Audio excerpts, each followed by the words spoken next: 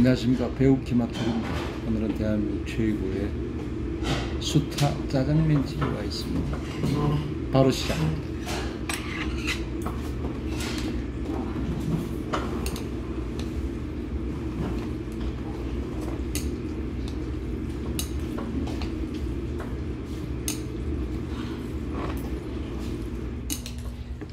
끝없이 이어지는 면발의 행복입니다.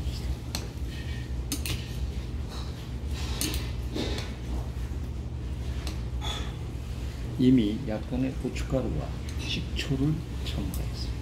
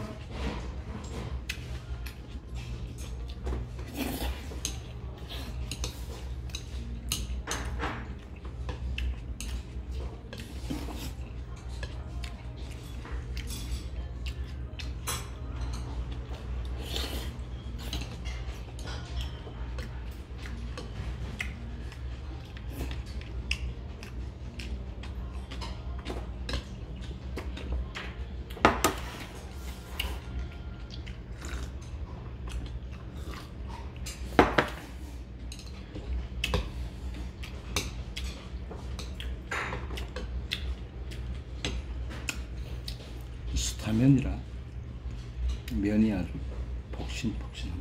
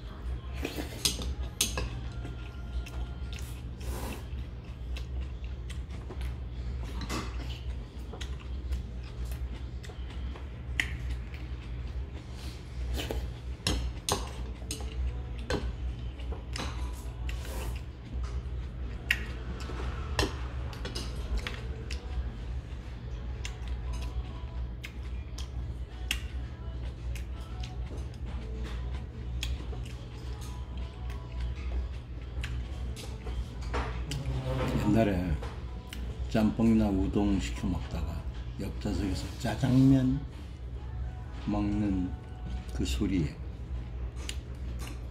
짜장면 시킬 거라고 후회했던 적이 많습니다.